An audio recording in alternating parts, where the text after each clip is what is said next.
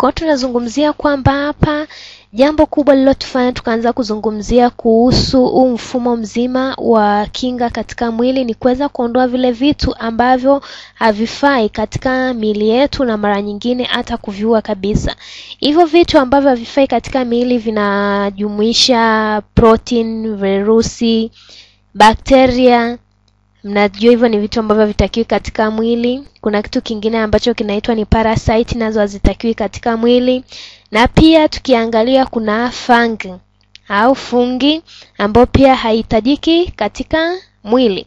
Kwa hivi vitu hapa sasa, kwa ujumla vyote, kitu ambacho kinaviondoa tunasema kinaitwa ni zile seli nyeupe za damu, ndizo ambazo zinaweza zikaua na kuondoa hivi vitu katika miili yetu, na tunaona kwamba hivi vitu vinasababisha magonjwa au maradhi katika miili.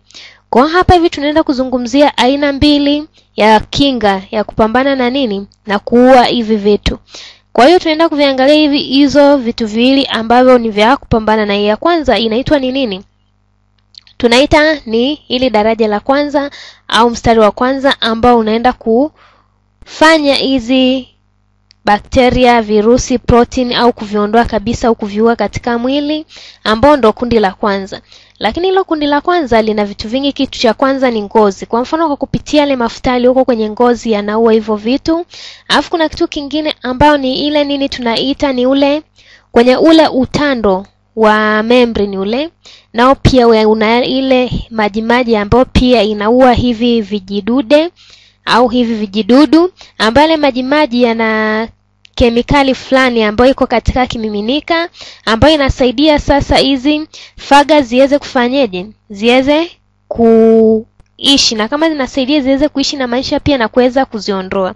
Alafu pia kwenye tumbo, kwenye tumbo letu kuna asidi ambayo iko katika tumbo, ambayo ile asidi pia inafanya iwe ni ngumu sana kwa hizi bakteria, virusi kuweza kuishi. Kwa hiyo tumesema tuna hizo, tuna ngozi ya mwili, tuna hizo ule utandotando ulioko katika nini hiyo membrane ambayo tumeizungumzia, na tuna ile asidi iliyoko katika tumbo. Kwa hiyo hivyo vyote msivisahau. Hiyo ni mojawapo ya nini ya hizi ya kinga ambayo inaenda kuua hivyo vitu ambavyo tumesema ni vibaya, havihitajiki katika miili yetu.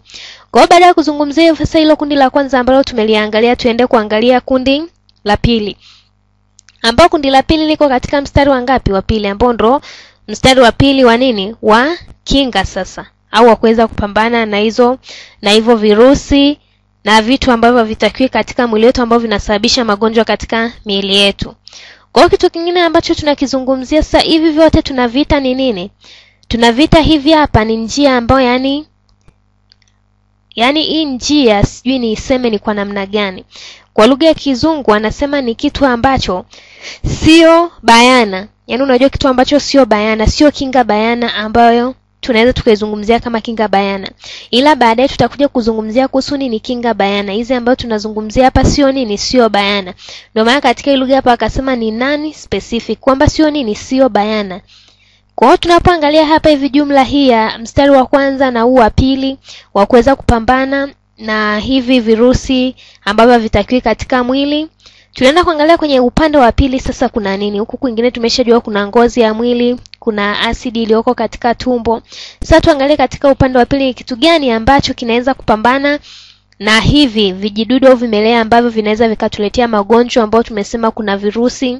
Tukasema pia kuna kitu kama bakteria tukasema kuna fungi na vitu kama hivyo. Kwa hiyo kwenye upande wa pili sasa, tunachoenda kukiangalia kilichoko hapa, cha kwanza tunasema ni ile uvimbe, matokeo ya uvimbe. Kuna uvimbe uvimbe ambao unaweza ukatokea katika nini, katika mwili kwao, yani yale matokeo yanayosababishwa na ule uvimbe. Kwa tunasema kwa mfano kama sehemu umejikata, umefanyaje, kuna kuwepo na ile nini, damu ambayo labda inamiminika kutoka katika hiyo sehemu ya nini ya ulikojikata na inamaanisha ile kile kimiminika cha damu kinaenda kupambana na ile nini na ile ile pale ulikohudhurika. Kwa hiyo inamaanisha kwamba inaleta aina fulani ya kimiminika kuja kupigana na nini na hivyo visivyotakiwa, kama ni virusi au nini. Kwa hiyo tunasema kama ni nini, ni kinga mojawapo au ni silaha mojawapo ya kuweza kupambana na hivi vimelea ambavyo havitakiwi katika mwili wa binadamu vinavyoleta magonjwa. Kwa ya kwanza ndio tumesema kabisa hapo ni ile uvimbe, matukio yale ya uvimbe ambao tumesema kwamba matukio ya uvimbe yanaleta nini? Yanaleta kitu ambacho ni kama kimiminika, ambacho kile kimiminika sasa kinakuja kupigana na ile hali ambayo haitakiwi, ile hali ambayo inaleta magonjwa katika mwili. Kwa naamini mpaka hapo nimeeleweka, na nimeeleweka ninapozungumzia yale matokeo ya uvimbe au kinachotokana na hiyo kinakuwaje.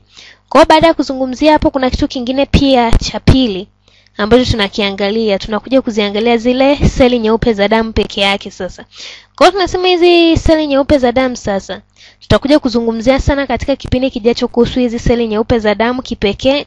Kwa hapa tutakuwa tu tunazungumzia kwa juu juu. Kwa hiyo tunasema hizi seli nyeupe za damu zina makundi ya pathogen, maana nishawafundisha, ambazo zile pathogen zinakula hizo bakteria sasa zina kula hizo bakteria au zinaua hizo bakteria, virusi na vitu vingine. Kwa hiyo tuchore kwa mfano, tuangalie mfano wa hiyo phagocyte au tunasema seli nyeupe za damu. Kwa hiyo tunachora seli yetu hapa kama ambavyo mnaweza mkaiona, na tuseme kwamba hiyo nyuklia hapo ina kiini chake ndani kama hicho ambacho nimekichora hapo. Kwa hiyo tunaangalia nini kinachoenda kutokea hapa sasa, pale ambako panatokea nini bakteria ambao ni wageni. Tuangalia hapa kwamba mfano akitokea bakteria ambao ni wageni, tuseme hapo ni bakteria ambayo imetokea ni ngeni kabisa. Kwa hiyo tunachora bakteria yetu hapo. Sasa tunajua kwamba hii hii nuclear ina kitu kama vishikizo hivi kama vya kidole hivi.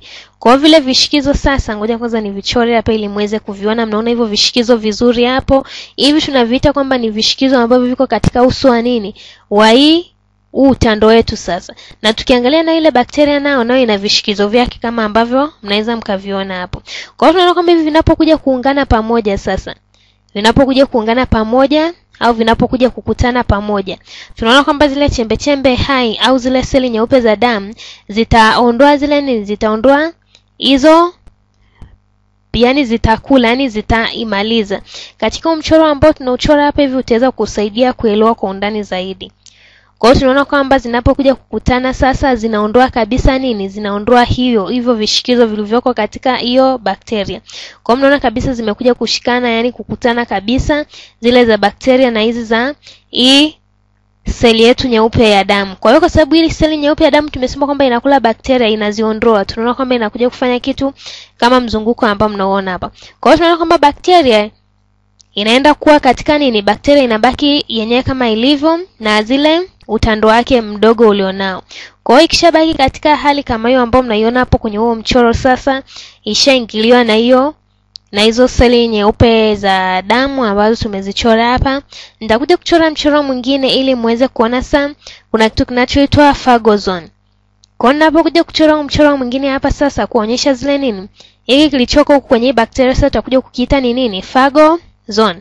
Kwa hiyo nachora hapo hivyo nyuklia nyingine kwenye na ndani ya hii nyuklia nitaweka seli ambayo hiyo seli ni kama hiyo ndo nini, ndo bakteria yenyewe. Sasa kwa nakuja naichora hapo, mnaiona wenyewe kwa macho yenu. Baada ya kuchora hapo, tusisahau kuiwekea ule utando ule, vile vishikizo ambavyo ndo vinakuja kukamatwa na kitu gani, na zile seli nyeupe za damu.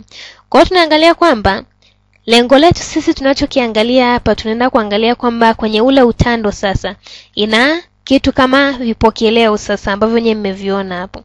Kwa hiyo tunaona kwamba baadhi ya vimiminika sasa ambavyo viko ndani ya hii seli sasa vitaenda kuanza sasa kufanyaje? Tuseme kwa mfano ni kitu ambacho tunakiita kama nini, tunaona kwamba zinaenda kuanza kujitokeza sasa kwa ajili ya nini, ya mashambulizi ambayo ikitokea hivyo kupitia zile phagosome na kuweza kufanyeje kuziondoa au kuzitupa katika zile phagosome ambao tumeizungumzia. Kwa hiyo ikishaingia kwenye hiyo phagosome, kinachoenda kutokea ni kitu gani? Vinaenda ku tunasema vinaenda kumeng'enywa, na ikishameng'enywa inamaanisha kwamba if hii seli nyeupe za damu, hizi seli nyeupe za damu zitaenda kuimeng'enya, na baada ya kuimeng'enya ndani ya hiyo phagosome itaweza kuua zile bakteria. Kwa mpaka hapo naamini ya kwamba mmeelewa ni kitu gani ambacho kinatokea katika hii hatua ya kwanza ambayo tulikuwa tunaizungumzia kwenye hii sehemu ya pili ya kinga juu ya nene juu ya hawa wadudu au hizi bakteria au virusi au virusi ambavyo havitakiwi katika mwili wa binadamu. Na mimi mpaka kufikia hapo mmeelewa kwa kiasi fulani jinsi gani ambavyo inakuwa ni kwa msaada kwetu au ni jinsi gani mwili ile kinga ya mwili inaweza ikapambana na vitu kama virusi, bakteria na vitu kama hivyo ili kuweza kuviua na kuviondoa katika miili yetu. Ndio maana tumeambiwa kwamba tuna ile kinga ya mwili, na kazi hiyo kinga ya mwili ndio kama hiyo ambayo umekwisha kuiona hapo. Kwa hiyo mmeelewa vizuri. Tuangalie sasa huo mchoro hauishii hapo, tunaenda kuchora mchoro mwingine ambao ni kwenye hatua ya pili. Hiyo ilikuwa ni hatua ya kwanza. Tunapokwenda kwenye hii hatua ya pili sasa, nitaenda kuwafungua macho tena kidogo muweze kujua hii ina tofauti gani na hii hatua ya kwanza ambayo tulikuwa tunaizungumzia. Kwa hiyo inamaanisha kwamba ikishaingia kwenye hatua ya pili sasa inazivunja vunja, pale tumesema kwamba inameng'enya. Ikishameng'enya sasa inazivunja vunja zinakuwa kwenye nini? Kwenye protein. Kwa hiyo mnaoiona hapo inavunjwa vunjwa inakuwa kwenye protein. Kwa hiyo mnaziona zile seli nyeupe za damu, itachukua hii protein ambayo imevunjwa vunjwa sasa na kuweza kuikita kwenye nini? Kwenye protein zinazoitwa nini? Hizi protein tunaona kwamba zitavunjwa vunjwa. Vunjwa, tunaona hizo seli nyeupe za damu zitaichukua na kuikita katika sehemu ambayo inaitwa MHC. Hiyo MHC nilishawafundisha tena katika kipindi kilichopita, mnajua kirefu chake ni nini. Kwa hiyo sio kitu ambacho ni kigeni au ni kigeni machoni kwenu. Na baada ya hapo sasa inazifunga sasa, zinaenda kufanyeje? Zinakuja kuvamiwa na zile pathogen ambazo nilikuwa nawaambia hapo sasa. Kwa zile pathogen zikija zitafanyaje? Zitashambulia hizo MHC ambazo nazizungumzia hapa katika nini, katika huu mchoro wangu.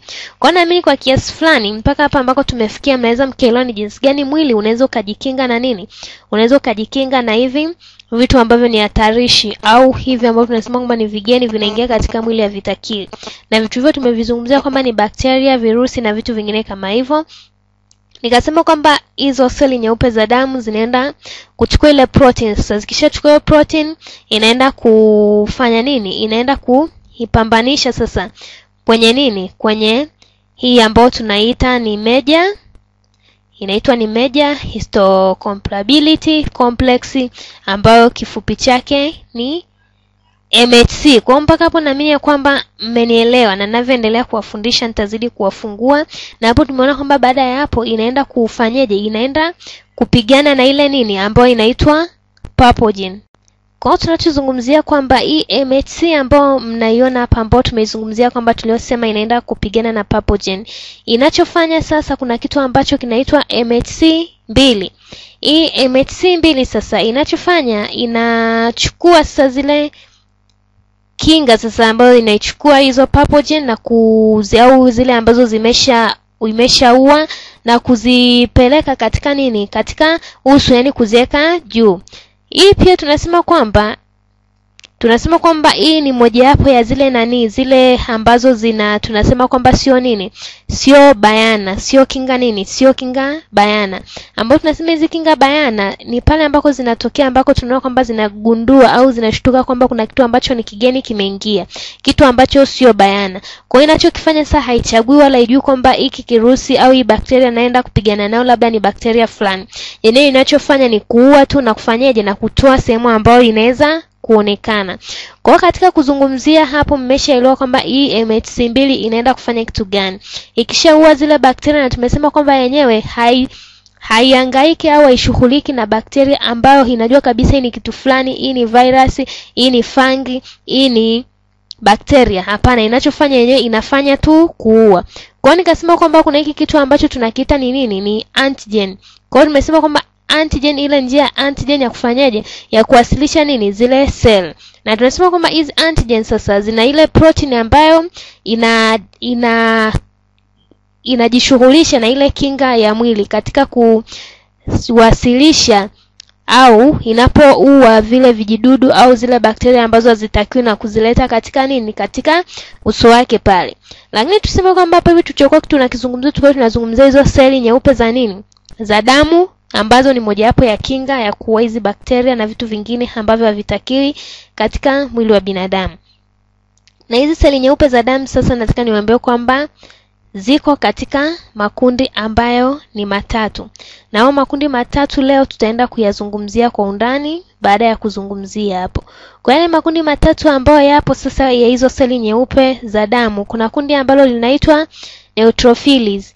Ili kundi linaloitwa neutrophils, ili tunasema kwamba yani ili linapambana sana na zile vitu ambavyo ni vigeni kwenye mwili, ambayo inachukua ni nini, inapambana kwa haraka sana na kwa kiasi kikubwa sana. Ila hii hapa sio katika kupambana kwake, sio lazima iue hizo nini, iue hizo bakteria au virusi au fangi hizo ambazo ziko katika nini, katika mwili. Kwa umeshaelewa kwanza, ndio hiyo aina ya seli nyeupe za damu tumesema ni hiyo nini, neutrophils. Hizo neutrophils tumesema ni ziko haraka sana. Ya pili inaitwa microphage. Hiyo microphage ni aina ya pili ya seli nyeupe za damu, na aina ya tatu inaitwa ni dendritic. Inaitwa ni seli ya dendritic, ambayo hii hapa mnaweza mkajiuliza, je, ina uhusiano na zile dendrite ambao tulikuwa tunazungumzia za neva? Kwa kweli hapa hazina uhusiano wowote na hazina kitu chochote cha kuzungumzia kuhusu nini ile hali nzima ya nini ya neva ni kitu kingine. Sema tu tunaziita dendrite kwa sababu zinaonekana sawasawa au zina umbo sawa na zile dendrite ambazo tulikuwa tunazizungumzia, na hii tunasema kwamba ni moja ambayo ni imara sana na nzuri sana katika kufanyeje, katika kushughulika na hivi vitu ambavyo ni vigeni au hizi bakteria katika miili ya binadamu. Tukutane katika kipindi kijacho kwa maelezo zaidi.